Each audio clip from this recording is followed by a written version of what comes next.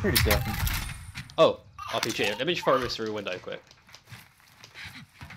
Oh, it's empty. idiot, dick, dick, I man. can just fucking fire them. As if it wasn't a hit.